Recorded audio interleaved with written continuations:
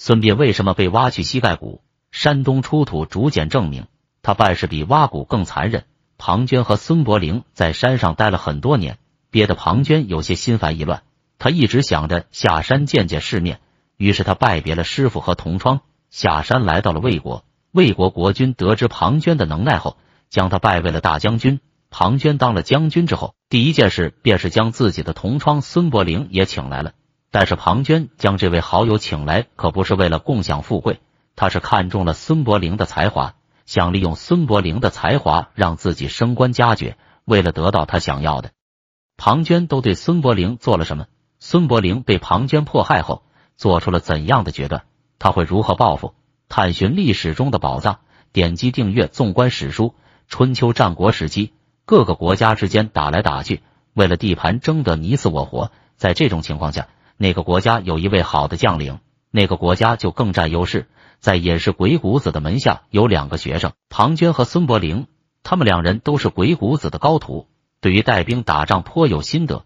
庞涓这个人内心比较浮躁，他认为自己已经学够了，下山之后必然是天下无敌，没有人能识破他的计策。于是，庞涓先一步告别了师傅和同窗，进入了这茫茫乱世之中。庞涓来到了魏国，见到了魏惠王。他在魏惠王面前展现了自己的学识和兵法，当上了魏国的大将军。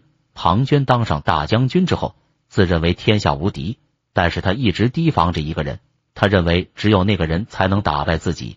这个人便是庞涓的同窗孙伯龄。在战国时期，各国之间流传着一个传说。曾经有一名战无不胜的军事家，名叫孙武，写下过一本《孙子兵法》。只要能得到这本兵法，就能像那位军事家一样领兵作战，天下无人能敌。各国都在找这本书，但是却一无所获。甚至有些人认为这本书根本就不存在，只是一个传说罢了。但是庞涓坚信这本书是存在的，因为他曾亲眼见过这本书，而这本书就在他师傅鬼谷子手里。当他提出想看看这本书时，鬼谷子断然拒绝了他，因为这本书是孙家的不传之秘，只能由孙武的后人，也就是孙伯龄看。这并不是鬼谷子偏心，这是孙武临终前对鬼谷子的嘱托。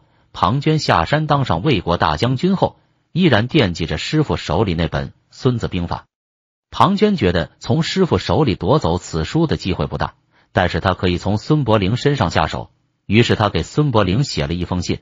邀请他到魏国来当官，自己可以提携他一下。孙伯龄非常相信自己的朋友，于是他也告别了师傅，下山来到了魏国国都。孙伯龄来到魏国后，他在魏王面前展现了更强的学识和计谋。如果说孙伯龄的智慧如同一轮明月，那么庞涓的智慧就像一颗星星。孙伯龄很快便成为了魏王的座上宾，庞涓的大将军之位也有些坐不稳了。庞涓很生气。于是他开始在魏王面前诬陷孙伯龄，孙伯龄蒙受不白之冤。在庞涓的操纵下，原本帅气的孙伯龄被人在脸上印了字，原本高大的孙伯龄被挖去了膝盖骨，一辈子无法站起来了。受了月刑的孙伯龄还被不明真相的魏王关进了监狱，成了一个彻彻底底的废人。此时的庞涓装成好人来到了监狱，他谎称自己给孙伯龄求了情。只要孙伯龄能将《孙子兵法》全都写出来献给魏王，魏王就能免去他的罪责。此时的孙伯龄依然相信着庞涓，马上开始誊写《孙子兵法》，希望能借此免去自己的罪责。就在孙伯龄即将把《孙子兵法》誊写完成时，监狱中的狱卒看不下去了，将事情的来龙去脉都告诉了孙伯龄，包括庞涓干的那些龌龊事。孙伯龄回想起了自己的遭遇。居然都是庞涓在背后捣鬼，而他只是为了获得自己脑袋里的《孙子兵法》罢了。同时，孙伯龄也明白了一件事：这《孙子兵法》写成之日，便是他孙伯龄丧命之时。于是，孙伯龄烧掉了所有竹简，然后开始装疯卖傻，做了各种常人做不出来的事。当庞涓得知即将完成的《孙子兵法》全被烧掉后，顿时勃然大怒，将疯疯癫癫的孙伯龄送进了猪圈。还管他叫孙膑，但是孙膑来到猪圈后，整天跟猪睡在一起，饿了之后就吃地上的猪粪。所有人都认为孙膑是真的疯了，只有之前那个狱卒知道孙膑是在装疯。为了救出孙膑，这个狱卒找到了齐国的使者，希望他能将孙膑带回齐国。齐国使者得知孙膑的不凡后，立刻暗中将孙膑带出了魏国。当庞涓知道此事时，孙膑已经到了齐国境内。此时的孙膑暂居于齐国大将军田忌府上，但是并不被田忌看中。这天，田忌在赛马时听从了孙膑三等策略，用下等马对战上等马，用中等马对战下等马。用上等马对战中等马，经此之后，田忌这才知道自己身边这位孙膑才是真正的高人。田忌将孙膑拜为了自己的军师，经常让他跟随自己出战。孙膑被拜为军师后不久，庞涓带着自己的魏国大军对赵国发动了进攻。庞涓虽然不如孙膑，但是他也确实不赖。赵国很快便坚持不住了。此时的庞涓已经打到了赵国国都邯郸，如果赵国没有援军的话，邯郸被攻破也只是时间问题。赵国向齐国发来了求救信，希望齐国能出兵救援。于是齐王召见了大将军田忌，田忌把孙膑也带上。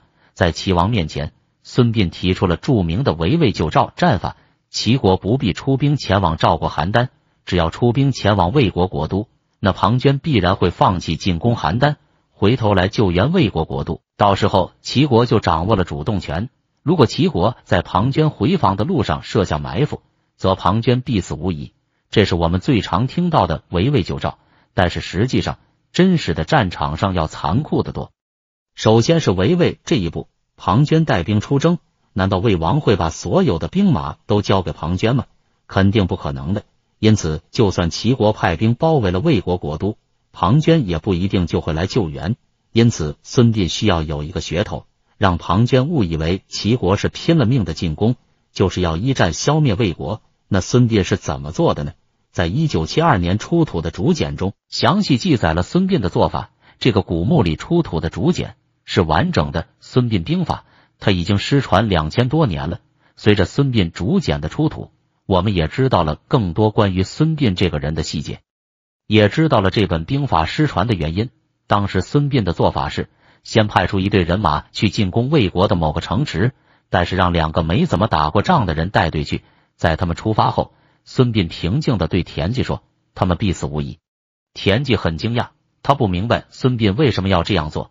随后，孙膑又派出了一队轻骑，直奔魏国都城而去，而孙膑则带着大军埋伏在了庞涓回防的必经之路上。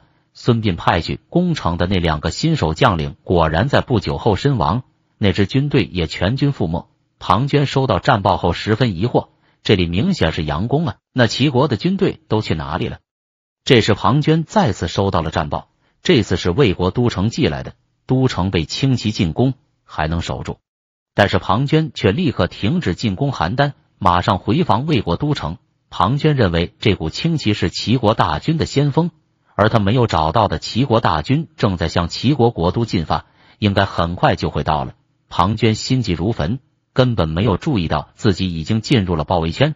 随着田忌的一声令下，齐国大军从四面八方钻了出来，将庞涓的大军一网打尽，还活捉了庞涓。但是孙膑并没有急着杀掉庞涓，因为庞涓还有用。从之前那里我们就可以看出来，孙膑用兵是很冷酷的。他为了给庞涓造成错觉，直接就牺牲掉了两位齐国将领的生命。尽管这两名将领的水平可能不高，但是孙膑的这种行为无疑会让人感到不适，更不会被人们接受。而在田忌赛马那里，其实也体现出了孙膑的这种冷酷作战模式。虽然在赛马场上输赢无非是一些钱财，但是在战场上，如果让老弱病残的士兵或者新来的士兵视为下等马，让他们去对战敌方的精英部队，也就是敌方的上等马，其结果可想而知。因此。孙膑的兵法之所以失传，是因为他没有人性了。这与我们传统的儒家思想也是背道而驰。因此，儒家弟子必然不会让孙膑兵法流传下去。尽管战争会很残酷，但是作为一名将军，不到关键时刻也不能用孙膑这种兵法，将士兵的生命视为一种可以随意消耗的资源。一九七二年的这套孙膑兵法出土于山东省银雀山汉墓这个墓里出土了大量的竹简和文物其中就有这套竹简。当年毛主席得知孙膑兵法出土以后也很期待见到这本失传千年的兵法。研究文物的同志加班加点终于在一九七四年让毛主席见到了完整的孙膑兵法而毛主席对孙膑的评价是攻魏救赵因败魏军千古高手。